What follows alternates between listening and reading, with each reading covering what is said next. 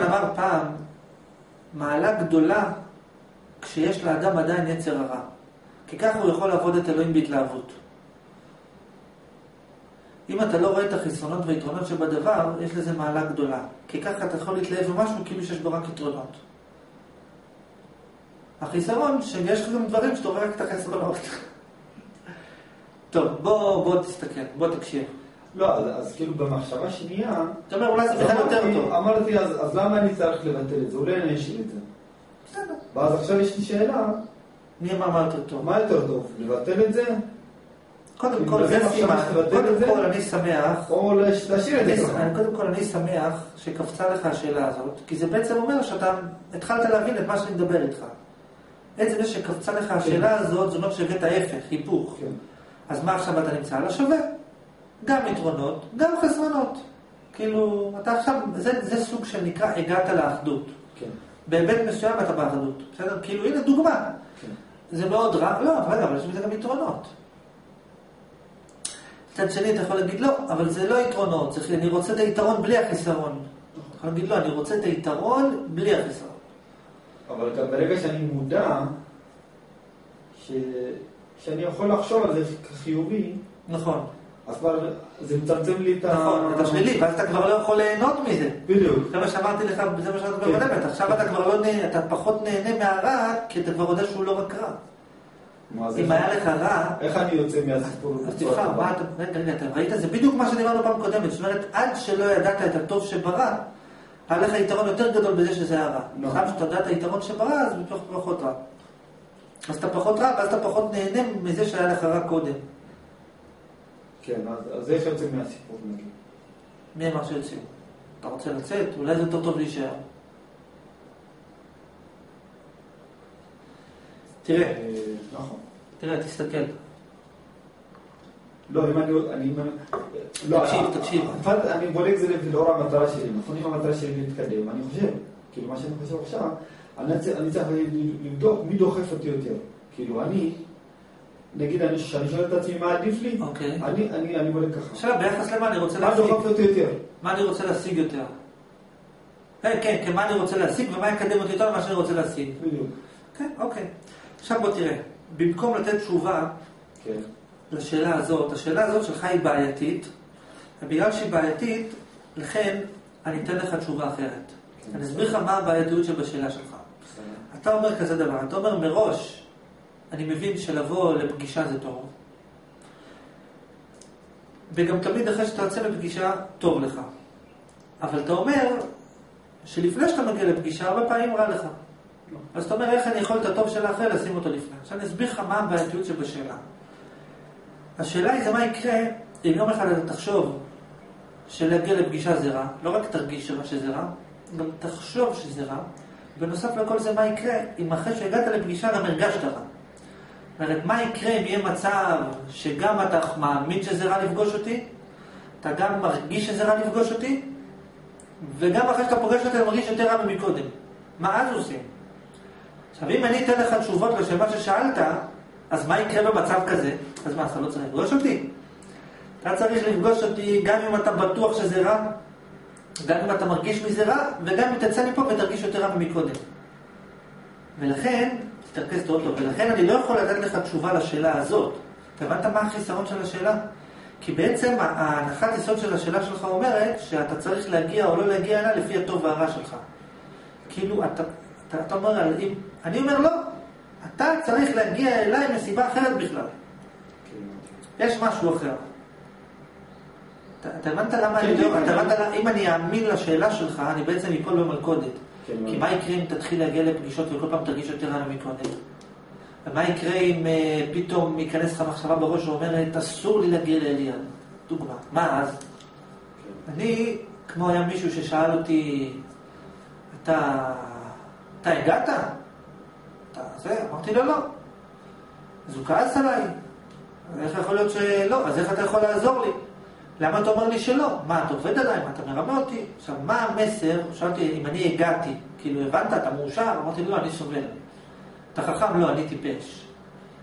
ואף על פי כן תבוא ללמוד אצלי, איך להיות חכם ואיך להיות מאושר. עכשיו, מה המהות של הדבר? כי אני ידעתי שאם אני אגיד לו, שאל אותי, אתה מאושר? אם הייתי אומר לו כן, קודם כל הוא לא מבין מה זה מאושר בכלל, אפילו לא יודע מה הוא רוצה. מי אמר שמאושר זה טוב? אולי מאושר זה רע, ואם אני לא מאושר זה יותר טוב. אבל יש לו איזו אמונה שיש לי רק כזה מאושר, יש לי אמונה שמאושר זה טוב, יש לי אמונה שאני צריך להיות מאושר כדי להסביר לו מה זה מאושר, יש לו המון אמונות. עכשיו, אני ידעתי שאם אני אגיד לו, כן, אני מאושר, בעצם אני מחזק אצלו את האמונה שאומרת שיש אושר, אני מחזק אצלו את האמונה שאומרת שאושר זה טוב, אני מחזק אצלו את האמונה שאומרת שאני צריך להיות מאושר כדי ללמד אותו מה זה אושר, ואני מחזק אצלו את האמונה שאומרת שהוא בא אליי כי הוא חושב שאני מאושר, שזו האמונה הכי בעייתית. כי אני בטוח במאה אחוז שאם הוא בא אליי כדי להיות מאושר, נגיד, אז יבוא יום כלשהו שהוא יחשוב שאני לא מאושר. ואם מראש אני אגיד לו, כן, תבוא אליי כי אני מאושר, עוד פעם, יש מה שאני אומר, יש לזה גם ההפך. אבל אני ידעתי מראש שאם אני אגיד לו, כן, תבוא אליי כי אני מאושר, המשמעות של זה תהיה שבעצם מה יקרה אם יום אחד הוא יחשוב שאני לא מאושר? הוא לא יגיע יותר. ולכן אני אמרתי לו לא, אני אמרתי לו, אני לא מאושר, ואני אפילו סובל, ואני אפילו אולי אגרום לך לסבול, סתם אני עכשיו מקצין את זה, אבל אתה תגיע אליי כי אתה רוצה להיות מאושר. למה? כי אתה חושב שאני יכול לעזור לך להיות מאושר. זה הסיבה. זאת אומרת, אל תגיע אליי כי אתה חושב שאני מאושר, תגיע אליי כי אתה חושב שיש אושר, ואתה חושב שאתה רוצה להיות מאושר, ואתה חושב שאם תדבר איתי, זה יכול לגרום לך להיות מאושר. בשביל זה תגיע, תגיע בשביל עצמך, לא בשבילי. אל תבדוק מה איתי, תבדוק מה איתך. אתה חושב שאם תעשה את זה, זה יעזור לך? תעשה את זה, לא אכפת לך ממני. תדאג לעצמך. עכשיו, למה זה קריטי הדבר הזה? למה זה קריטי? כי לצורך העניין יש אמת. אמת. ואם פעם אחת היית רואה את האמת מבחוץ, היית בטוח שזה השקר הכי גדול שיש בעולם. זאת אומרת, אם עכשיו אני אומר לך מה האמת, אתה תהיה בטוח שאף פעם בחיים לא שמעת שקר יותר גדול מזה. אתה רוצה שנבדוק? נבדוק? נבדוק. אתה יודע מה האמת? אני אגיד לך מה האמת. לפני שאני אגיד לך מה האמת, אני אגיד לך איך אנחנו יכולים לדעת אם אתה חושב שדבר הוא שקר או אמת. ואז אתה תראה שכשאני אגיד לך את האמת, אתה תראה שאתה חושב שהיא שקר הכי גדול בעולם. איך אנחנו יודעים אם אתה חושב על דבר שהוא אמת או שקר? מאוד פשוט. כמה שאתה, אם, אם יש משהו, תראה, אתה איש אמת. מקצין כזה, אתה איש אמת. עכשיו, איש אמת כמוך לא יכול להכיל שקרים.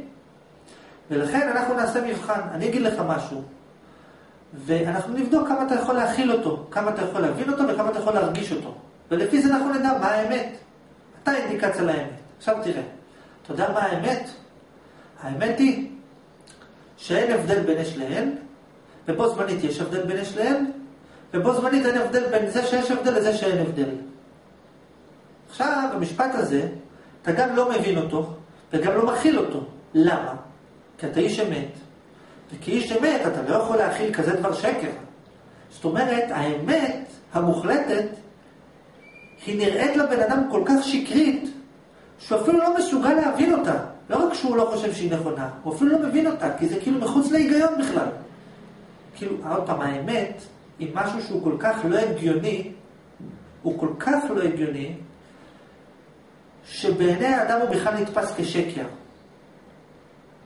אתה הבנת מה אמרתי עכשיו? כן. ולכן, כשאתה מחפש את האמת, אם אתה תשאל אותה, איך קוראים לך? היא תגיד לך שקר. למה?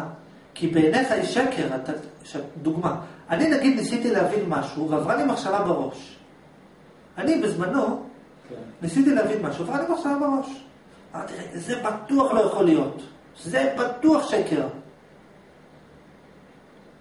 ומה מתברר בסוף? שזה האמת. זאת אומרת, זאת אומרת, שאם הייתי אומר, רגע, זה אמת או שקר? מה כתוב בשלט? בשלט כתוב שקר. אז אם הייתי מאמין לשלט, אז הייתי נשאר בשקר. אבל בגלל שאמרתי, לא אכפת לי מה כתוב בשלט, אני רוצה לבדוק את זה, לא אכפת לי שזה נראה לי כשקר. אני עכשיו רוצה להיות שם, ואני רוצה להבין את זה, ואני רוצה לראות מה יקרה. אז הבנתי שזה אמת. זאת אומרת, אם אני הייתי אומר לבן אדם, תקשיב, אני מאושר, לצורך העניין. אז מה יקרה ביום שהוא יראה שאני סובל? אז הוא לא ילמד אצלי. אז זה כמו לשאול, אם אני חושב שאלוהים מושלם, מה יקרה ביום שאני אראה שיש לו חיסרון? אם אני חושב שאלוהים הוא טוב, מה יקרה ביום שאני חושב, מה יקרה ביום שאני אגלה שהוא רע?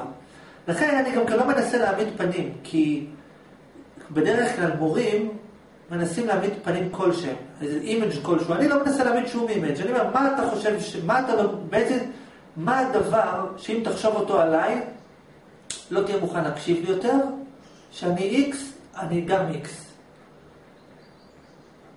אתה מבין? דוגמה. מה הליצן הזה אמר? נגיד, הוא התנהגות לא אתית, הוא משהו, לא אכפת לי מה. לא מעניין אותי מה בכלל. אני אומר לו, תגיד לי, מה הדבר שאם אני אגיד אותו, יעשה אותו, לא יודע מה, שאם היית חושב אותו עליי, לא היית יותר רוצה לדבר איתי?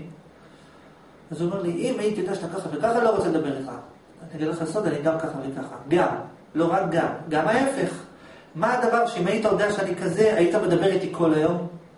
אם אתה ככה. אתה יודע, אני גם ככה. אני גם הדבר שאתה הכי אוהב, ואני גם הדבר שאתה הכי שונא. עכשיו, למה חשוב לי להעביר את זה? כי אם אני מראש אעמיד פנים שאני רק מה שהוא רוצה, אתה יודע איזה משבר הוא יגיע אם בסוף הוא יגלה שאני לא רק מה שהוא רוצה? כי עכשיו, זה לא אני, אליעד, זה המציאות. בן אדם מניח שהמציאות היא רק טובה. מה קורה ביום שהוא מגלה שתמיד יש חיסרון? תמיד יש גם חיסרון. הוא חוטף משבר של המשבר של המשבר, לדוגמה. או נגיד, לכל דבר יש סיבה. מה קורה ביום שהוא מגלה שמהיבט מסוים לשום דבר אין אף פעם סיבה? הוא בכלל נהיה אומלל. לכן מראש, עוד עכשיו תראה, זה, יש פה, עוד, יש פה עוד, עוד עניין. אם הבן אדם הזה, אני מסיבות כאלה ואחרות רוצה שהוא יהיה איתי בקשר כרגע, אז אני אומר, מה הוא רוצה לשמוע? שיש אמת ואפשר למצוא אותה? אה, יש אמת ואפשר למצוא אותה. אין לי כוח לסבך אותו, אני רוצה כרגע שהוא יישאר, שהוא לא יברח. אבל יש מצבים מסוימים, או שאני רוצה שהבן אדם יעוף, מהמון סיבות, או שאני רוצה לזעזע אותו כדי לקדם אותו. אני רוצה לזעזע אותו כדי לקדם אותו, ואז מה אני עושה? אני בודק מה הוא לא רוצה לשמוע, ואני אומר לו את זה בכוונה, כדי שהוא יזדעזע. ואז או שהוא ייפול, אם הוא ייפול, שיפול, ואם הוא יישאר, אז הוא יודע לי כפל כפליים של הכפל, כפל, כפל, כפל, כפל, כפליים. למה? כי בדיוק מה שהוא לא הצליח לחשוב אותו, הוא יכול לחשוב אותו. כל בן אדם מנסה לברוח מדברים מסוימים. גם אם נופל זה איזשהו, איזשהו רווח מסוים. כי הוא לפחות גילה את החולשה שלו. לדוגמה, הוא גילה, אה וואלה, יש לי פה נקודת תורפה. כי מתי שהוא היה נפגש עם זה. נכון. אז אני בסך הכל אמרתי לו, מה אתה חושב? אתה חושב שאתה סופרמן? בוא נראה לך איפה יש לך עקב אכילס, בוא נראה לך איפה יש לך פרצה במנגנון. עכשיו, ולמה? כי אני רוצה שבן אדם ירפא את עצמו. החולה בא לרופא, והוא אומר לו, נכון שאני בריא, נכון שאני בריא, נכון שאני בריא, לא, אתה לא בריא, צריך, שיש בעיה לטפל בה. עכשיו, אם הבן אדם יצליח, הרי, הרי למה אנשים, חלק מהאנשים ברחו לצורך העניין, למה? כי בעצם אני לא, הרי תכלס, לא, לא עשיתי להם שום דבר, לא פגעתי בהם, לא כלום, מה קרה? יש גם הרבה אנשים ששונאים אותי, או לא אוהבים אותי, למה? כי כשהם רואים אותי, זה גורם להם לחשוב מחשבות מסוימות על עצמם שהם לא רוצים לחשוב. אתה הבנת את הכוונה? כן. נגיד, כל זמן שהוא לא רואה אותי, אז הוא אז הוא יכול לשקר את עצמו. עכשיו, ברגע שהוא רואה אותי, אז לפעמים מה שקורה, שמה שהוא לא רצה לחשוב על עצמו, הוא פתאום מתחיל, רגע, רגע, מה, אני כזה? מה, אני ככה? לא, לא, אני לא רוצה לחשוב את זה, אתה עושה לי רע, אתה עושה לי רע. לא, אני בסך הכל אמרתי לך, אה, תסתכל במראה שלך, הנה, איפה אתה? מה אתה לא רוצה לראות? הנה, בדיוק זה, תסתכל במראה. כמו שיש נגיד דוגמנית, יש לה איזה פגם. והיא הולכת ברחוב, פגם פגם, ויום אחד היא את התמונה שלה, הנה, זה את. אל תעשי לי פה דאווינים, הנה, כזאת את. אתה מבין עכשיו? עכשיו תקשיב, עכשיו אצלי יש גם את ההפך, זה לא רק רע. אני, יש לי מראה של חסרונות, שכל אחד מי שרואה אותי רואה את החסרונות שלו. מצד שני, יש לי גם מראה של יתרונות. למה? כי אומנם מצד אחד אני מראה לך כמה אתה אפס, אבל מצד שני אני גם מספר לך שאתה אלוהים, אני גם מספר לך שאתה הכל כרצונך תמיד, מצד אחד, הדברים הרעים שאתה לא רוצה לחשוב על עצמך, אני גורם לך להתחיל לחשוב אותם על עצמך, אבל מה שאתה מקבל בתמורה, אם אתה מצליח להגיד, אוקיי, למרות שזה עושה לי רע המחשבות האלה כשאני באינטראקציה עם אליעד, אני אף על פי כן אמשיך להקשיב לו. מה שאתה מקבל בתמורה, שיש בתוך הבן אדם מחשבות מאוד טובות שהוא רוצה לחשוב על עצמו, והוא לא מעז לחשוב אותם על עצמו, כי הוא מפחד. ואם הוא איתי, הוא פתאום מתחיל לחשוב על עצמו גם את המחשבות הטובות שהוא לא ראה, הוא יכול קודם לחשוב על עצמו. אתה הבנת את זה? כאילו זה כנגד זה. עכשיו, רבי נחמן אמר פעם, לא אמר פעם, כתב בספר, כי זה לא ממרה, זה, יש על זה תורה בליקוטי מורן, שבן אדם לפני שרוצים לתת לו כסף, לפני כן עושים לו ניסיון של כעס. רבי נחמן אמר, כל פעם שמישהו מכניס אותך, תדע לך שבאותו רגע מהשמיים יורד כסף, ועכשיו יש לו שתי צורות איך הוא יכול להצטייר, אחד ככעס, שתיים כממון. ואם אתה כועס, אתה מאבד את, ה... אתה מאבד את הממון שלו. עכשיו, מה זאת אומרת? זאת אומרת, מה המובן? המובן הוא שכדי שהבן אדם יוכל להכיל את המחשבות הטובות שהוא לא מעז לחשוב על עצמו, בשביל זה הוא גם צריך להיות מסוגל לחשוב את המחשבות הרעות שהוא לא מוכן לחשוב על עצמו. זאת אומרת, אם אתה תהיה מספיק אמיץ לראות את האמת ולהגיד, נכון, האמת היא שאני גם חסרונות, אז ממילא אתה גם תהיה מספיק חכם כדי לראות את היתרונות שבך. ואז זה יקזז את זה עם החסרונות, ואז אתה תהיה בשלמות. איך אני, הנקודה האחרונה? הרעיון הוא פשוט, יש בין, האדם בורח למחשבות מסוימות. אם יהיה מספיק אמיץ לשמוע את המחשבות האלה ולא יברח, מה שהוא יקבל בתמורה, שהוא יהיה מסוגל להרגיש גם את המחשבות הטובות שהוא רוצה להרגיש והוא לא מצליח להרגיש אותן. כמו לדוגמה, המחשבה שאומרת זה לא משנה, כמו לדוגמה המחשבה שאומרת הכל כרצוני, כמו לדוגמה המחשבה שאומרת אני אלוהים, כמו לדוגמה המחשבה שאומרת יש לי בחירה חופשית על הכל, הדברים הטובים. כאילו רק אם תסכים להיות עבד, רק אז תוכל להיות מלך. זאת אומרת, המלך מתגלת מלכותו בזה שהוא יכול להיות, שהוא יכול להיות עבד. זאת אומרת, הוא כל כך בטוח שהוא מלך שהוא יכול להיות עבד, כי זה תלוי אחד בשני. שדרך אגב, זה גם הפוך. בגלל שאתה מבין שאתה אלוהים, לכן גם אין לך בעיה לשמוע את החסרונות שלך. זאת אומרת, זה גם בא מכיוון הפוך. בגלל שאני כל כך מרגיש טוב עם עצמי, לכן גם אין לי בעיה להרגיש רע עם עצמי. כאילו זה דבר תלוי בדבר, זה לא נפרד, זה אחד תלוי בשני. עכשיו, מה זה אומר בעצם? איך זה קשור למה שאתה שאלת? תסביר איך זה קשור, עכשיו תסתכל. תראה, איך התחילה השיחה? אתה שאלת שאלה, ואז אמרתי לך, ומה יקרה אם אתה תרגיש רע? ואז אמרתי לך, על ההוא ששאל אותי, אתה מואר, אתה הגעת? ואז אמרתי לך אחר כך על הקטע שהאמת נדמת כשקר, ומשם המשכנו. עכשיו תראה, איך זה קשור לעניין? אתה צריך לשאול את עצמך מלכתחילה, למה אני בכלל רוצה לפגוש את אליעד? למה אני רוצה? בעיקרון, למה אתה רוצה? כי זה גורם לך להרגיש טוב. גורם לך להרגיש טוב. שאלה היא, כי בסופו של דבר, למה בן אדם עושה דברים? כי זה גורם לו, כי הוא חושב שזה יגרום לו להרגיש טוב, אוקיי? עכשיו, בן אדם צריך לשאול עצמו, למה, מה הסיבה המרכזית שבגללה אני פוגש את אליעד? מה שורש הדבר הטוב שאני מנסה להשיג ממנו?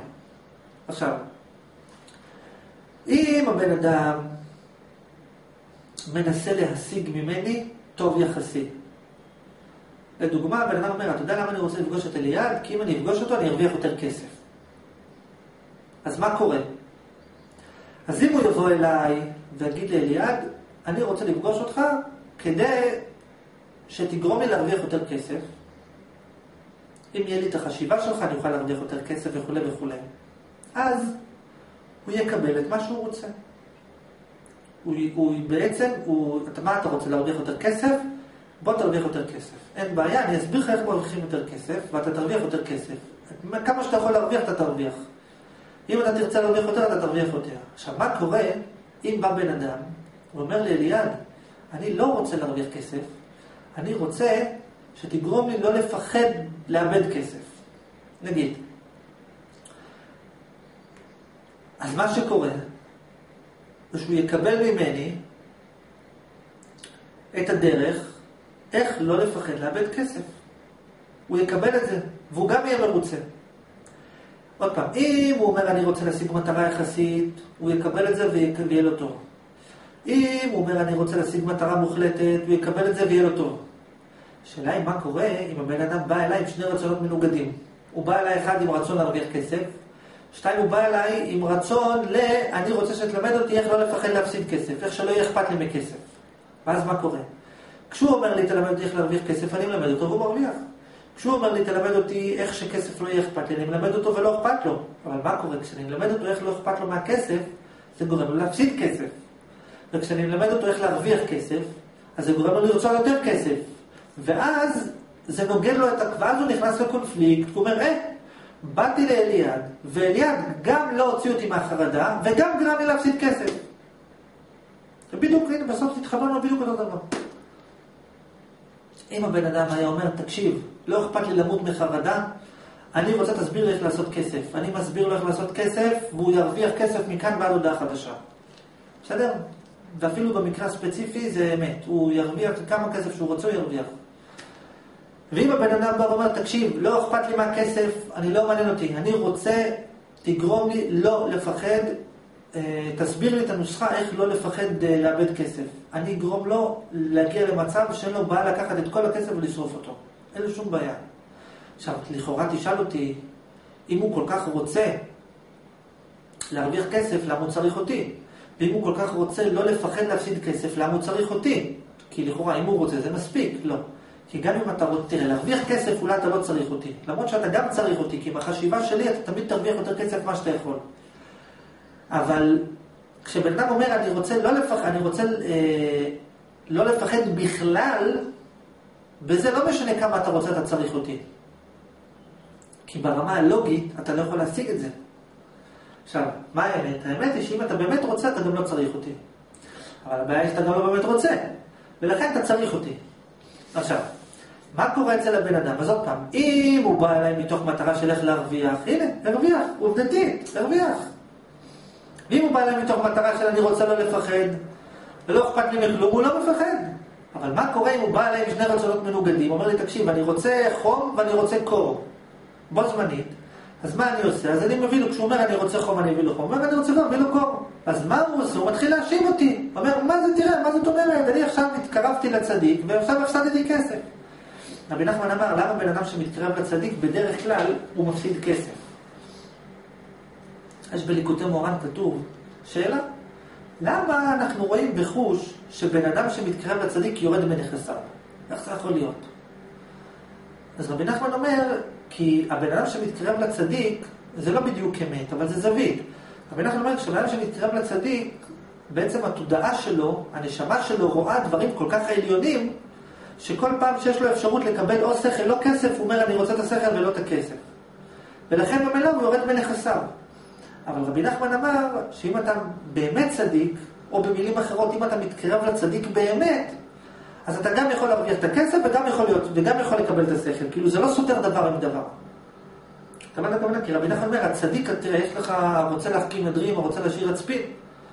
אתה בא לצדיק, אתה רוצה להחכים, כי אם אתה רוצה להשאיר, מה אתה בא לצדיק? ואז רבי נחמן אומר, לכן אם אתה בא לצדיק, אתה מתרחק מהצפון, אז אתה מתקרב לדרום, יש לך פחות כסף. אבל רבי נחמן אומר, אבל הצדיק שהוא כלום, הוא יכול גם להיות בצפון וגם להיות בדרום. במובן שהוא אומר שאם אתה חושב, שאם אתה רוצה דבר מוגדר, אני רוצה שכסף לא יעניין אותי יותר. אז ברור, איך אתה יכול להרוויח יותר כסף כשהוא לא מעניין אותך? אם אתה אומר, אני רוצה שכסף כל כך יעניין אותי, אז איך אתה יכול להיות בחרדה מכסף? אבל אם אתה אומר, אם אתה מבין את השורש של הדבר, אז אתה יכול להיות גם וגם. אתה גם יכול להרוויח, אתה גם יכול להרוויח כסף, ואתה גם יכול לא לפחד לאבד אותו. שזה גם כן דבר שאנשים לפעמים נגיד אמרו, מה? אה, מה אתה, למה אתה רוצה כסף או משהו כזה, נניח. עכשיו, קודם כל, אני אין, לי, אני אין לי בעיה לשלם את העלות של הרצון. אני, אני מודה, אני חרדה, נכון, אז מה, אבל אני לי, אני אין לי בעיה לשלם בחרדה. אבל העניין הוא אחר, כי אותו בן אדם, או האדם השני, אה, הוא לא מסוג... הוא רוצה את הכסף, אבל האם הוא גם יכול לקחת את הכסף שהוא הרוויח אותו ולשרוף אותו, ולהרגיש עם זה שלם, ועוד אפילו להיות מאושר מזה לדוגמה?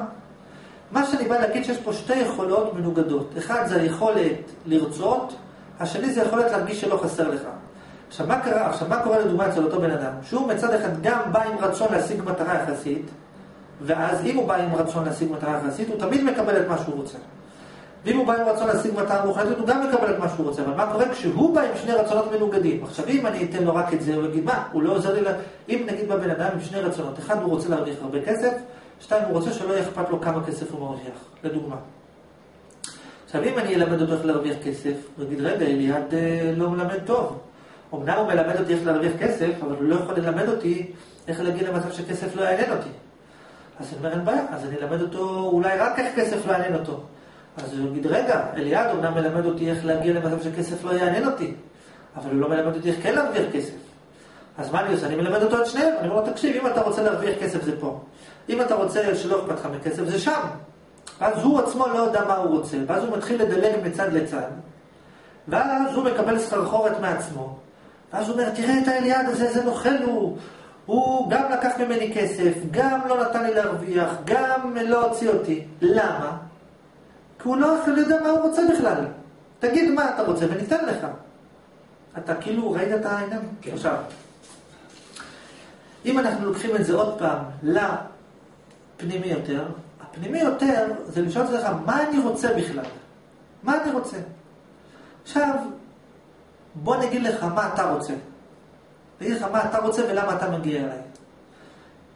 מהיבט מסוים אין לך בחירה. למה אתה מגיע אליי? כי ככה אלוהים רוצה שתגיע אליי ואין פה שום שאלה ושום סיבה. אלוהים גזר שתהיה פה ואתה פה. ככה המציאות רוצה וזהו. יש המון היבטים. עכשיו אני אתן לך היבטים יותר uh, רציונליים נכון? או יותר סיבתיים, משהו כזה. למרות שגם להגיד כי ככה המציאות רוצה, זה גם סיבה, זו סיבה מספיק טובה, מספיק חזקה. תראה, אתה לדוגמה מגיע אליי מכמה סיבות. אחד, כי אתה חושב שמה שאתה מבין ממני נותן לך יתרונות יחסיים בעולם. שתיים, כי מה שאתה מקבל ממני, אתה מתכנן להשיג מזה איזה תועלת ארוכת טווח. עכשיו תסתכל, קודם דיברנו מה קורה בעולמות העליונים, ומה אכפת לי מה קורה בנשמה, ומי אמר שזה טוב מאוד. עכשיו תראה, בתת מודע שלך, בנשמה שלך, יש משהו שאתה מאוד רוצה אותו. מאוד רוצה אותו, רוצה אותו יותר מכל דבר אחר. בתת תת מודע שלך, כאילו לנשמה שלך יש עוד נשמה לפני כן, ויש עוד הרבה לפני כן, ושם יכול להיות שבכלל אתה אומר יותר טוב שאני לא אשיג את מה שאני כל כך רוצה. גם זה יכול להיות. אבל אתה, מה שקורה אצלך זה יש כמה רבדים. ברובד החיצוני של התודעה, אתה רוצה את החיי היום-יום, שאשתי תכבד אותי, שהילדים שלי, שהבריאות שלי, אבל בנשמה שלך אתה רוצה משהו מעבר. עכשיו, אתה בא אליי, אתה אז באופן ספציפי, בא אליי, לפחות ברמה ההצהרתית, בעיקר בשביל המעבר, המעבר של הדבר. אתה כאילו בלב שלך חווה איזה משהו מאוד גדול, ואתה אומר, או, oh, זה יכול לתת לי את הדבר, או זה אולי יכול לקרב אותי לדבר. עכשיו שים לב, זה הכל עניין של תחושה. כי בתחושה שלך, אתה מרגיש שבכל פעם שאתה בא אליי, יכול להיות שיש לך חסרונות יחסיים, יכול להיות שהחסרונות היחסיים שלך גדלים, יכול להיות שהקונפליקטים שלך גדלים, יכול להיות שיש לך פחות כבוד, פחות כסף, פחות כאב, פחות בריאות, אבל בתוכך אתה מרגיש שיש משהו שמתמלא, אתה כאילו מרגיש, נכון שאני סובל בחיצוני, אבל בפנימי אני, אני אה, מתמלא לי אה, רצון. כאילו, מה שאני באמת רוצה, ואני אפילו לא יודע מה אני רוצה, אני מרגיש שזה מתמלא לי, כאילו, אני מרגיש סוג של כמיהה כזאת בלתי ברורה. עכשיו, אתה מבין את זה? עכשיו תראה. זאת אומרת, שוב פעם, יכול להיות שברמה החיצונית יהיה לך חסרונות, חסרון כבוד, חסרון כסף, חסרון זה, לא כל מיני חסרונות, אבל אף על פי כן אתה מרגיש בתוך תוכך, זה מה שאני רוצה, לא אכפת לי מכלום, אני רוצה את זה וזה. עכשיו תראה, מה האמת? בדיוק כמו שדיברנו קודם בשיחה הקודמת, מה האמת? האמת היא שיכול להיות שמה שאתה רוצה, אף פעם אי אפשר להשיג אותו. אז תגיד, אוקיי, אז מה אם אי אפשר להשיג אותו? ולכן זה לא יעזור לך שתבוא אליי. אני כאילו אומר לך את כל ההתנגדויות. כן, כן. אולי בכל מקרה אי אפשר להשיג אותו. ולכן, מה זה יעזור לי שאני אבוא לאליעד? תשובה. אז מה? אבל באופן יחסי אני מרגיש שאני משיג אותו. ברצון הפנימי. תגיד, רגע, אולי זה שאני משיג אותו, אולי למרות שאני מרגיש שאני משיג אותו, אולי בכלל זה יגרום לי נזק, אולי אחר כך אני אגלה שעוד יותר, אולי בכלל אני אגלה שגם אליעד לא נתן לי אותו, וגם עכשיו נכנסתי לצרה יותר חמורה, כי עכשיו אני, הרצון הפנימי, אני אהיה עוד יותר בדיכאון מזה שלא השגתי אותו מקודם. זאת אומרת, אם אי אפשר להשיג אותו וגם אליעד לא ייתן לי אותו, יכול להיות מצב, אז יכול להיות מצב שאחר כך אתה תחזור למצב הקודם. שאתה עדיין תרצה אותו כמו שבלעדיי, ואז אתה אומר, אוקיי, אז עדיין שווה לי להגיע לאליעד, כי באופן יחסי הוא ממלא אצלי את הרצון הפנימי שלי. אתה יכול להגיד לא, אבל אולי אחר כך הוא יגרום לי איזה נזק, אולי יגרם לי נזק מהתהליך עצמו אם אני לא אגיע עד סופו. כמו שהיה ליצן אחר, היה איזה ליצן שאמר, אני מפחד שאם אני אבין אותך, שאני בסוף אתקע במה שאתה אומר, ואני לא אתקדם עוד קדימה. סתם סוג, אולי אני אתקע במשהו. עכשיו, יכול להיות עוד, עוד, עוד, עוד, עוד אה, קושיות. קושייה נוספת אומרת, יכול להיות שבכלל אני מרגיש שאני רוצה משהו, אבל אולי בתוך תוכי אני גם בכלל רוצה משהו אחר.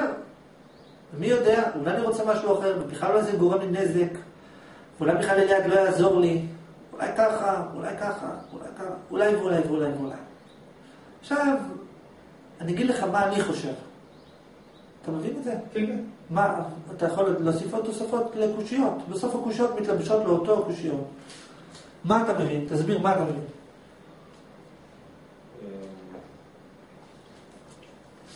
כאילו, לבחון את כל ה...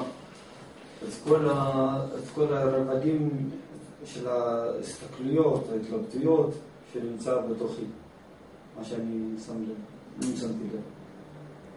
אז יש פה כמה, כמה סוגים.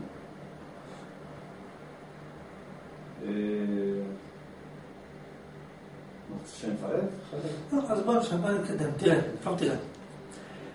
איך אני יוצא מה- מהלופ הזה? איך אני כאילו נותן לבן אדם תשובה שתספק אותו, שהוא לא כל הזמן יחזור לי עם עם טענה הפוכה. כי אם אני אגיד לו, תראה, ככה, אז אולי ככה, אם ככה, אז אולי ככה, אם ככה, ככה. מה אני עושה כדי לצאת מהלופ? אני אומר, בוא נראה, מה בטוח הוא מבין?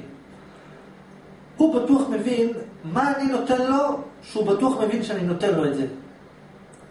הבנה, שכל, הבנה, תבונה, חשיבה, זה כל אחד מבין שאני נותן את זה.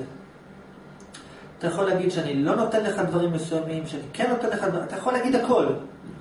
אבל יש דבר אחד שאתה לא יכול להגיד. אתה לא יכול להגיד, אה, אליעד לא גרם לי להבין יותר טוב. זאת אומרת, במובן שלי אם אתה מתעמק, אתה, אתה רואה שפתאום אתה מבין יותר עמוק, אתה יותר דרכים, יותר זה. זאת אומרת, יש משהו שאתה בוודאות מקבל ממני.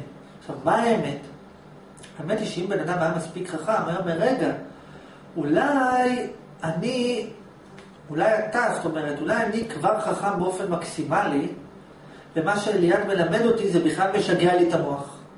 אבל זה לא יכול להיות, זאת אומרת, מה הדבר שוודאי לאנשים שהם מקבלים ממני? שכל. אבל אולי בעצם כל השכל שאני מלמד, כל השכל שאליעד מלמד זה בכלל שיגעון. אולי ככל שיש לך פחות שכל זה יותר טוב. מה האמת? שגם זה יכול להיות. אני אגלה לך בסוד, כל מה שאני מלמד זה גם שיגעון. מהיבט מסוים, כל פעם שאתה מבין אותי, אתה נכנס לצרה יותר גדולה, כי המוח שלך יותר מפריד בין דבר להיפוכו. גם זה אמת. אתה יודע למה, למה, למה זה אמת? עכשיו, מה הרעיון? הרעיון הוא שמה שאני אומר, נגיד לך באופן אישי, זאת אומרת, אם העוגן שלך יהיה איזה תחושה טובה אני מרגיש מזה שאני מדבר עם אליעד, ולמה אני מרגיש את זה לפני, למה אני מרגיש את זה אחרי, זה לא יכול להחזיק מעמד מספיק זמן. אבל אם העוגן שלך, אני אתן לך עוגן שתחזיק אותו, ואם תחזיק אותו, אתה תוכל להתמיד באינטראקציה שלך איתי. העוגן זה, לצורך העניין, שאתה, לצורך העניין, אני, מחפ... אני רוצה לדעת את האמת כפי מה שהיא. כאילו, אל תגדיר לי מראש גם איזה אמת אתה רוצה. כי היה מישהו שאמר, אני רוצה את האמת, אבל אני רוצה שתגרום לי להרגיש טוב. אני רוצה את האמת, אבל אני רוצה שהאמת תהיה שאסור להיות, שאסור לאכול בשר. ההוא עם הבשר, עם הצמחונות, אתה זוכר את ההוא? כן, כן. אז הוא אמר לי, נכון שאני מחפש את האמת, אבל אני לא רוצה אמת כזאת, אני רוצה אמת אחרת. אוקיי, אז נלך לחפש אמת אחרת. ולאיפה הוא הלך? הוא הלך למישהו שעושה לו ככה, ליטופים, אמת של חמלה, אמת של אהבה, מבין? זה הסיפור. כי הוא אמר, אני כל כך רוצה את האמת, אני כל כך רוצה את האמת, ואז אמרו לו, הנה, זאת האמת. לא, עזוב, זה, אני לא רוצה אמת כזאת, אוקיי. בעצם הוא ברח מהמחשבה, שאומרת לו, מה אני באמת, אני באמת מחפש את האמת, או שאני מחפש אה, שלטפו לי את האגו? מה אני באמת מחפש? בכל מקרה, אם אתה אומר לעצמך שהמטרה שאתה רוצה להשיג ממני היא הבנה, אז, אז אתה תחזיק מעמד פי מיליון יותר זמן מאשר אם אתה תגיד אני רוצה להשיג הנאה, או אני רוצה להשיג מטרה יחסית, או אני רוצה להשיג מטרה כזאת או אחרת. כי כל הדברים יכולים פתאום להתנענע. אתה פתאום יכול להגיד, רגע, זה עושה לי טוב, זה עושה לי רע, אני... אה, סיפורים. אבל אני, אני רוצה להשיג הבנה, אני רוצה להבין. להבין, מה להבין לא יודע. רבי נחמן אמר, הדעת, זה הפתרון. כשאדם משיג את כל מה שיש ביד אנושי להשיג, שם צריך לא שכל. אני רוצה להבין, לא אכפת לי מה, אני רוצה להבין, להבין, להבין, עוד דברים, עוד דברים, להבין, להבין, להבין. עכשיו, אז יבוא ליצן ויגיד, אם אתה רוצה להבין, לך לאוניברסיטה.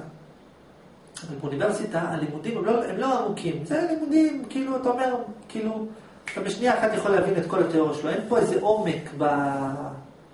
אין לך איזה עומק לצלול, להעמיק, עוד עמוק, עוד עמוק, עוד עמוק. בכל מקרה, פה, אתה לצורך העניין מקבל הבנה. עכשיו, מי אמר שאתה מקבל פה הבנה? אולי אתה מקבל פה חוסר הבנה. יכול להיות. אבל באופן יחסי, הדבר שאתה הכי בטוח שאתה מקבל פה הוא הבנה. עוד פעם, האמת היא שאצלי אתה מקבל, זה גם לא האמת, זה חלק מהאמת. האמת היא שאצלי אתה מקבל חוסר הבנה מוחלט של המציאות. כי כל מה שאני מסביר לך זה בדיוק הפוך מהאמת. האמת היא שאין הבדל בין יש לאין, וכל מה שאני מסביר לך זה הפוך. כי כל ההסברים מבוססים על יש ואין. והאמת היא שאין הבדל בין יש לאין. זאת אומרת שאני בעצם מרחיק אותך מלהבין את המציאות. מהיבט מסוים. מהיבט אחר, אני בכלל מקרב אותך למציאות. לא משנה, יש בזה, עוד, יש בזה המון זוויות. אבל הרעיון הוא שבאופן יחסי, הדבר שאתה הכי מקבל ממני זה להבין. להבין. עכשיו תסתכל טוב טוב, עוד פעם, אם בן אדם, כי זה חשוב לי שזה יהיה ברור, אם בן אדם בא אליי עם מטרה יחסית, אני רוצה לשכנע אותו לזוז לשם. אני רוצה לגרום לה לאהוב אותי, אני רוצה לגרום לה לא לאהוב אותי, אני רוצה לגרום ללקוח לקנות, אני רוצה לגרום ללקוח לא לקנות, אני רוצה להרוויח, אני רוצה לא להרוויח, אני רוצה מוטיבה... לא משנה, אם הוא בא עם מטרה מוגדרת, מביא לו אותה. מה שאתה רוצה, מביא לו אותה. אבל אם הוא בא עם מטרה, אני רוצה להיות אלוהים, אני רוצה להיות מאושר, איזו מטרה כזאת אה, בחלל. עכשיו פה, הוא גם לא מבין, הבן אדם גם לא מבין מה הוא רוצה בדיוק, הוא גם לא יודע למדוד אם הוא בדרך הנכונה או לא. הוא לא יודע בדיוק מה עובר עליו. אז אומר לו, תקשיב, אני אתן לך להבין את מה אתה רוצה. אני אתן לך להבין יותר טוב את המציאות באופן כללי, אני אתן לך להבין יותר טוב מה אתה רוצה. ו, ואם אתה תבוא מתוך, אה, אני רוצה להיות מאושר, רגע, אני מאושר, אני לא מאושר, זה לא יעבוד. כי אולי כדי להיות מאושר אתה צריך לפני כן להיות לא מאושר. למה שאתה קורא לו אושר זה לא, יש פה דברים שלא ברורים, זה לא מדיד. זה לא אני רוצה איקס, איך עושים אותו? ולכן, אם בן אדם רוצה איזו מטרה רוחנית כזאת, אז הדרך הכי טובה להישאר אצלי זה על ידי שהוא הולך למטרה הרוחנית הנעלה ביותר, שהיא הבנה טהורה. אני רוצה להבין. לא רוצה את הנגזרות של ההבנה, רוצה את, רוצה את האמת כפי מה שהיא. ובאופן יחסי, הדבר מי שרוצה את האמת כפי מה שהיא, בלי תנאים, אז באופן יחסי, אם הוא יבדוק מה הדבר שהוא הכי מקבל ממני, זה את האמת כפי מה שהיא בלי תנאים. זאת אומרת, אם בן אדם נגיד רוצה כסף, והוא יבוא אליי, אז הוא יגיד, לא, אני מיד מקבל דברים אחרים. אבל אם בן אדם בא מתוך רצון לדעת את האמת כפי מה שהיא, אז אצלי הוא רואה שהדברים נאמרים כפי מה שהם. זאת האמת, זה ככה, זה ככה, בלי העמדת פנים, בלי פה, בלי שם, אומרים לך את כל, כאילו, אף אחד לא מנסה לחפות על שום דבר. ואם בן אדם אומר, אני רוצה את האמת כפי מה שהיא, ואני בא לאליעד כדי ללמוד את האמת כפי מה שהיא, אז ממילא זה כבר לא משנה לו אם הוא מרגיש יותר טוב, מרגיש פחות טוב, אם כואב לי הרגל, כואב לי האוזן, זה לא משנה. אתה מבין, איך זה ענה לך לשאלה שלך? כן. תסביר מה שאלת ומה זה ענה לך. ויש לי שאלה מסוימת. כן, מה השאלה? שאלה מסוימת. אה, השאלה היא, אם חלק מההתפתחות האמיתית של האדם זה לא זה, לא זה שיש לו, שהוא יודע לבקר את המורה שלו גם? חלק מההתפתחות האמיתית של הבן אדם זה קודם כל שהוא מבין את המורה שלו. חלק מההתפתחות האמיתית של בן אדם זה קודם כל שהוא מבין את עצמו בכלל. הרי את עצמו הוא לא מבין. הרי מה הוא רוצה, הרי אפילו מה הוא רוצה הוא לא יודע. אז הוא מעביר ביקורת על מישהו אחר שאפילו לא יודע מה הוא רוצה. לא הבנתי, אז מה, מה התשובה? ברור שנכון, אתה צריך להגיע למצב שאתה יודע להעביר ביקורת על אלוהים, שאתה יכול להגיד לאלוהים, תקשיב, מה שאתה עושה יש בזה חסרונות, ואלוהים יגיד לך נכון. נכון. התכלית הסופית, שאתה תהיה מסוגל להגיד המציאות היא X, וזה באמת יהיה ככה, שאתה באמת רואה את הדברים כפי מה שהם, הפרספקטיבה של אלוהים. זאת האמת. ואתה גם צריך להעביר ביקורת על המורה שלך, נכון, אבל אתה גם צריך להעביר ביקורת על עצמך, אתה גם צריך להעביר ביקורת על זה שאתה מעביר ביקורת, צריך להעביר הרבה סיפורים. עכשיו, אני אומר לך, שאם כל האנשים בעולם יתחילו להעביר ביקורת על המורים שלהם, ויתחילו להעביר ביקורת על זה שהם מעבירים ביקורת על המורים שלהם, ולהעביר ביקורת על זה שהם מעבירים ביקורת על המורים, בסוף כולם יגיעו אליי. בכל מקרה, זאת אומרת, אין לי בעיה, אין לי בעיה שכולם יעבירו ביקורת, כי בסוף הם יגיעו אליי. אדרבה, אם תתחיל להעביר ביקורת על כולם, אתה בסוף תגיע אליי, כי אתה תצטרך פתרון. כי אתה תראה, אה, אה יש תמיד חירה, מה עושים? אה, הנה בוא אני אסביר לך.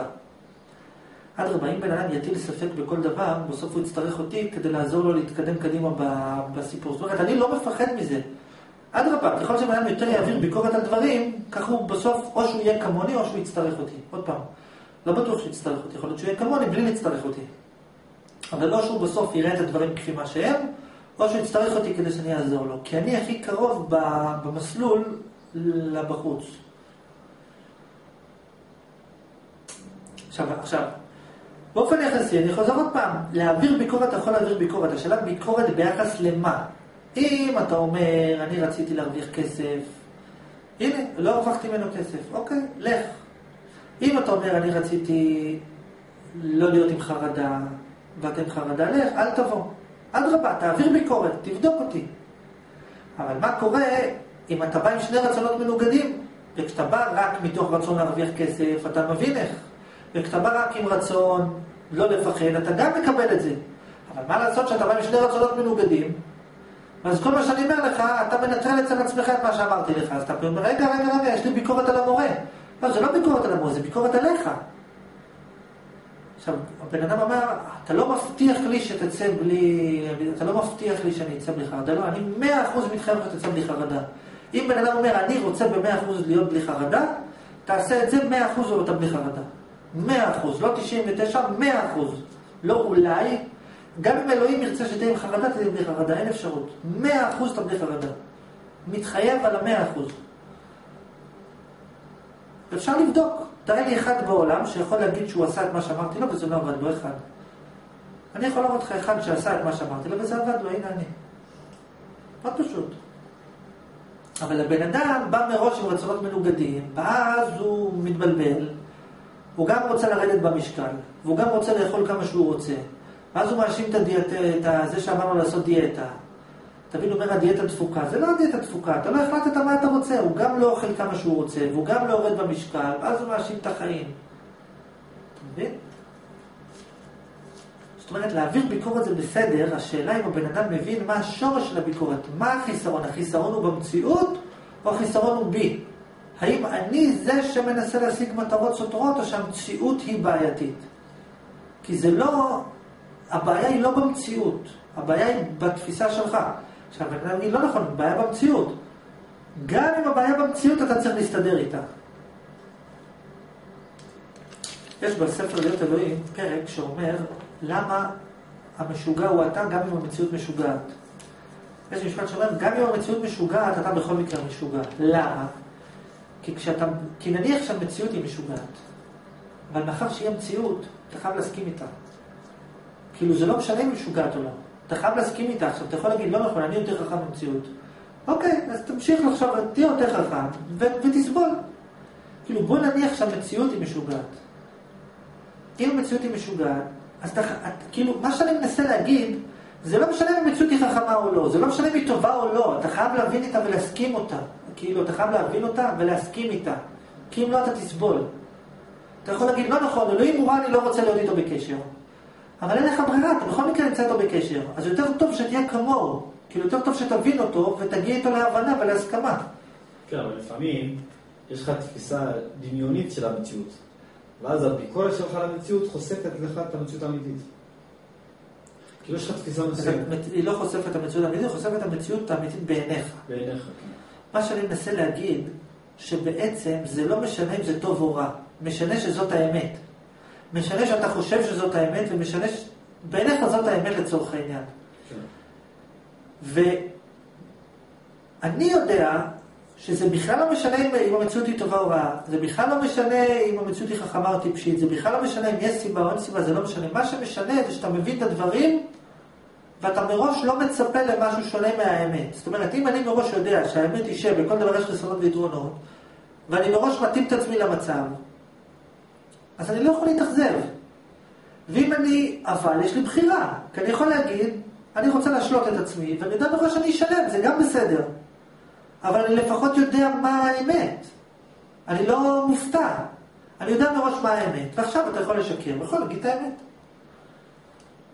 אבל בבירור שלך... ומה שאני מוכר לך, זה שתבין מה האמת. זאת אומרת, אחר כך תעשה מה שאתה רוצה. אתה רוצה, תגיד, וואלה, אני עכשיו הבנתי שתמיד יש חיסרון ויתרון, ואני עכשיו רוצה לשקר ולהגיד שיש רק חיסרון. אני רוצה לשקר ולהגיד שיש רק יתרון. זכותך. אבל לפחות תדע מראש מה העלויות, מה המשמעויות. מה אתה צפוי, מה זה ייתן לך, מה זה לא ייתן לך. אבל חלק מההתפתחות שלי זה לא הביקורת שלי עליך? לא עצם הביקורת, ההבנה שלך. לא עצם הביקורת שלך עליי, עצם הביקורת שלך על דברים באופן כללי.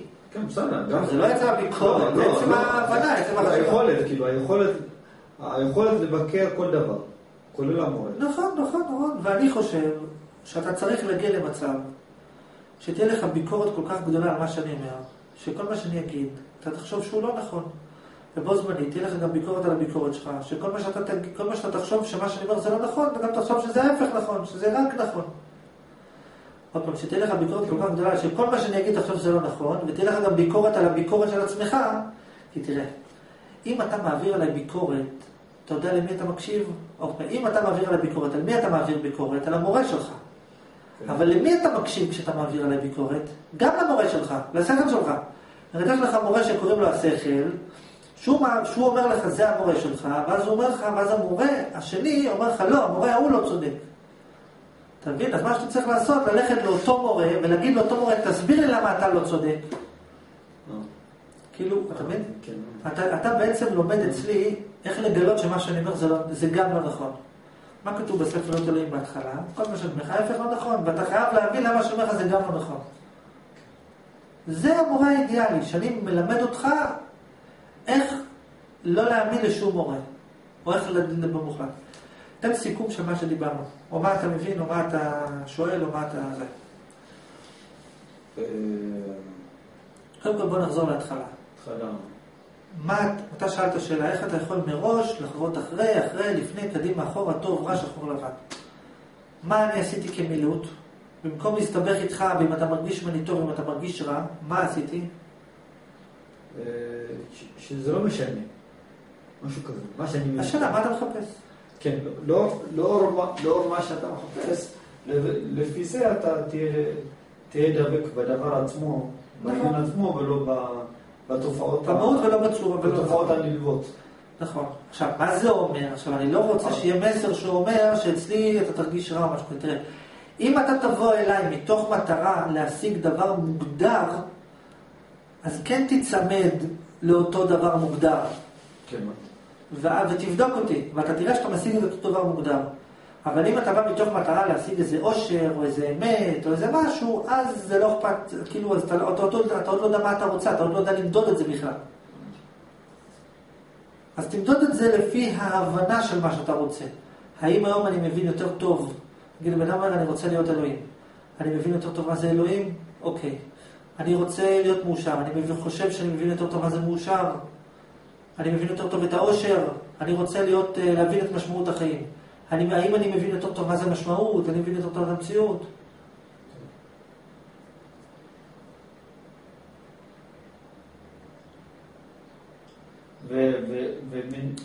מה דוחף יותר? רגע, רגע, אחדד אני אחדד לך עוד דבר, אני אחדד לך עוד דבר. לא חיובי ולא שלילי, המיקוד שלך במטרה. זה לא שלילי ולא חיובי, זה לא מעניין בכלל. זה לא משנה. מה שמשנה זה מה אני רוצה ועד כמה אני חושב שאני מקבל את מה שאני רוצה. תראה, אני יכול להגיד לך שיש לפעמים גם תהליכים אחרים. יש לפעמים מקומות שהבן אדם בא מתוך מטרה ללמוד על התפתחות אישית, ומה שהוא מקבל מהם זה אינטראקציה חברתית, זה מלטפים לו את האגו וכולי וכולי. ומה שהוא צריך לעשות זה למדוד אותם. זאת אומרת, מה אני אמרתי לך? אם אתה בא אליי עם מטרה יחסית, תמדוד אותי. תבדוק בדיוק, הוא מביא לי, אני מרוויח יותר כסף או לא מרוויח יותר כסף. אני מצלחתי להשיג את הבחור או לא הצלחתי, תבדוק אותי. בהנחה שאתה רוצה אותה. כי אתה יודע, פתאום בן אדם מחליף את הרצון שלו ואומר, למה לא השגתי אותה? תבדוק, תעשה בדיוק מה שאומר לך ואתה תשיג אותה. עכשיו, אותו דבר זה גם לגבי מטרות מופשטות. זאת אומרת, אם יש לך איזו מטרה מופשטת, גם תבדוק אותי. כאילו, לא אותי, כי אני את המטרות המופשטות נותן. הכוונה, יש מקומות שבן אדם מלכתחילה הולך כדי ללמוד איזו התפתחות רוחנית, והוא לא מקבל את זה. הוא מקבל דברים אחרים, הוא מקבל חיבוקים, ואחדות, ואהבה, ושקר כלשהו, אבל את מה שהוא ביקש לקבל הוא לא קיבל. ומה שאני בעצם בא לומר, תבדוק מה אתה רוצה, ועד כמה אני מקבל את מה שאני רוצה ביחס לאלטרנטיבות שלי. למה הוספתי ביחס לאלטרנטיבות? כי יכול להיות שאתה תגיע למצב שאתה תגיד, רגע, נכון שאני רוצה להבין את עצמי, אבל גם אצל אליעד אני לא מבין את עצמי. תשובה, אבל אתה מבין שאצלי אתה מבין את עצמך יותר במקומות אחרים. או נגיד, נכון שאני רוצה להרוויח כסף, אבל גם עם השכל של אליעד אני לא מצליח להרוויח כסף. נכון, אבל אצלי אתה מבין שהסיכוי שלך להרוויח כסף גדול יותר מכל מקום אחר. מבין ששם אין שום שכל, איך אני יכול בלי שכל להרוויח? פה יש לי שכל, הבנה, תבונה, משהו. עכשיו, אני טוען שאם תלך עד הסוף, אתה תקבל גם את הכסף וגם את המשמעות וגם את הכל. אני כאילו בא להגיד שבאופן יחסי אצלך במוח, אתה יכול לראות שכל מה שאתה רוצה, עם ההבנה שאתה חושב שאתה מקבל ממני, אתה יכול להשיג את זה יותר טוב. ולכן אתה צריך להגיע. זה בדיוק מה שאמרתי לו אחד, לא שאכפת לכם אם אני מאושר או לא, מה שמשנה זה שאתה חושב שאצלי יש את הסיכוי הגדול ביותר עבורך להבין מה זה אושר בכלל. הרבה יותר מאשר אם תשב עם עצמך, כי עם עצמך אתה בטוח לא יכול להגיע לשום מקום, כי יש פרדוקס וכולי וכולי. תן לי סיכום של מה שדיברנו, סיכום סופי. סיכום סופי. זה תמיד פותח עוד חומר למחשבה ועוד עדונות, אבל בואו נסכם. כן. מה, מה אתה צריך להגדיר לעצמך, מה אתה, מה אתה מחפש אצל המורה? בעיקר. בעיקר. מה אתה מחפש בדבר שאתה רוצה להשיג? לא בדרך. בדרך. לאו דווקא אצל המורה, בפעולה, מה תכלית הפעולה? מה בדרך הפעולה בדיוק? מה המטרה שלך? בעשייה הזאת, במפעל הזה. ואז אה, א', לבדוק, נגיד, מי, מי הכי, מי, מי עם הפוטנציאל הכי גבוה שהוא יקרב אותך למטרה הזאת. מה נראה לי כרגע ששם הפוטנציאל הכי גבוה להתקרב למטרה? ודבר שני, אחרי שאתה החלטת, ואני אומר שלא משנה מה, לא משנה איזה מטרה בן אדם יציב, אם הוא יכיר אותי, הוא יחשוב שאני יכול, שאני הדבר הקרוב ביותר עבורו להשיג את המטרה. זאת אומרת, אם לדוגמה עכשיו יש מישהו במינוס בבנק, והוא רוצה להרוויח כסף, וקשה לו בעסק שלו, ויש לו או לקחת אותי כיועץ או את ביל גייטס כיועץ, אם הוא היה מכיר אותי, היה לוקח אותי. אם הוא היה מבין מה יש לו, מה אני יכול לתת לו, היה לוקח אותי ולא את ביל גייטס. יכול להיות שאם הוא היה מבין גם אולי היה מטרה כסף. אה? אני לא יכול משנה, הוא יקבל מה שהוא רוצה. כן. למה? כי ביל גייטס יכול ללמד אותך מה הוא עשה, אבל לא בהכרח שהוא רואה את כל האלטרנטיבות שלך. אני יכול ללמד אותך, לגרום לך לראות את כל האלטרנטיבות שלך, ושלא יהיה אפילו דבר אחד שאתה יכול, שלא תדע שאתה יכול, ושלא יהיה אפילו דבר אחד שאתה לא יכול, שאתה תחשוב שאתה יכול. כמות היצירתיות שאני יכול להביא לבן אדם היא פי מיל- 100 מיליון ממה שביל גייטס יכול להביא לו, כמות החשיבה, כמות היכולת לקבל החלטות, הכל פי מה זה בכל אחד אחר. לא משנה באיזה נושא. אני אגיד לך יותר מזה, גם בן אדם חולה סרטן. אם הוא היה יודע ויש לו אור